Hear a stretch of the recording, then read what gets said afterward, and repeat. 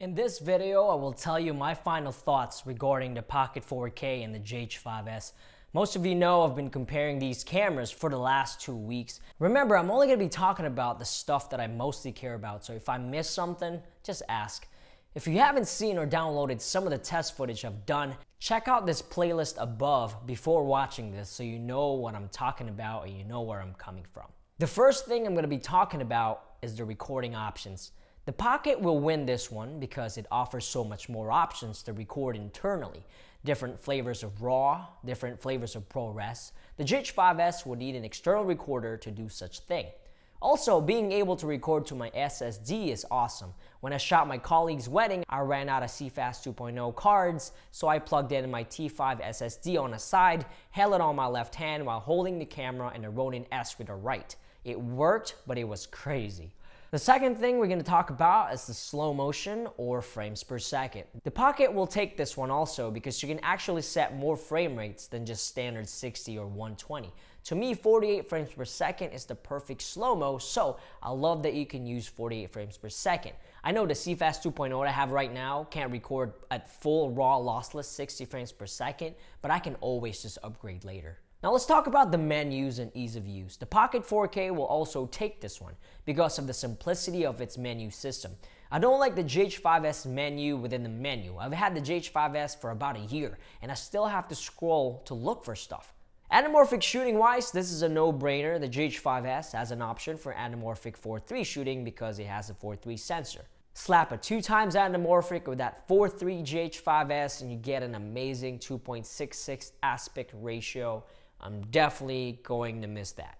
The next thing we'll talk about is the screen. Even though the Pocket 4K has a bigger screen, GH5S takes this one because of its flippable screen. You know, you gotta love that, especially when doing vlog like this, being able to flip the screen so you can see yourself and focus it. The battery life we're to talk about, this is to be an obvious one. The GH5S will take this because the Pocket 4K has to process much harder data, so it uses more battery. To put in perspective, other cameras out there, you'll need to purchase an external recorder to just be able to record RAW. The Pocket 4K does this all internally, so that hogs a lot of power. Pro tip, buy Canon batteries, they last longer than off-brand, and no, I did not get paid to say that. Ergonomics, the GH5S will take this one because it just feels great in the hand. It's really small, compact, gotta love that. Finally, the last three items.